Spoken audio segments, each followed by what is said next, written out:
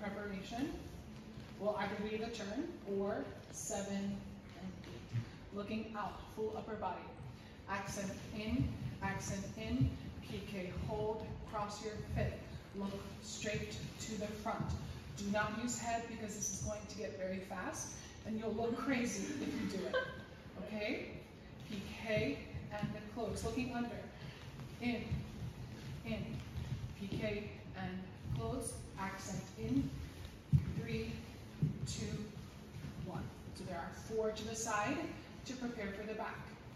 One, two, piqué hold, point, close.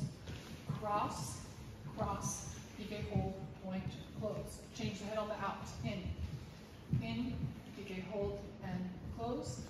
In, two, three, four. Turn on the